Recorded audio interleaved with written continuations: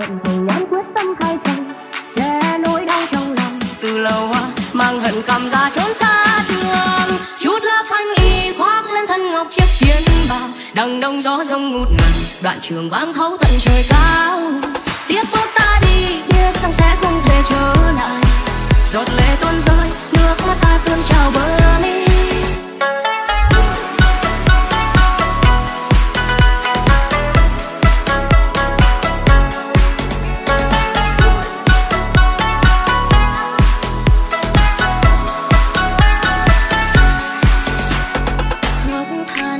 trời sao ông quá bất công? Kiếp duyên này vẫn chưa tròn đã hóa hư không?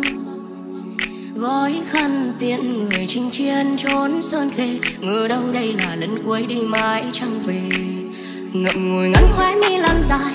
Duyên số đã an bài. Để người đi không phải lưu luyến người ở lại. Phận hồng nhãn quyết tâm thay chồng che nỗi đau trong lòng. Từ lâu à, mang hận cầm ra trốn xa chưa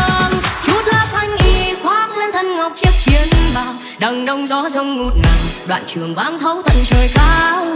Tiếp bước ta đi, biết rằng sẽ không thể trở lại. Giọt lệ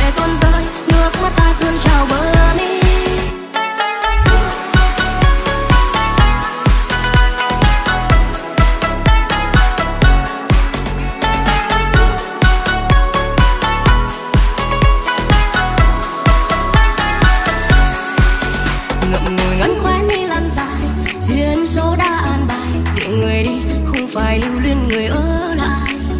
Phận hồng nhan quyết tâm thay chồng che nỗi đau trong lòng. Từ lâu mang hận cầm ra trốn xa trường chút lá thanh y khoác lên thân ngọc chiếc chiến bào. Đằng đông gió rông ngút ngàn, đoạn trường vang thấu tận trời cao.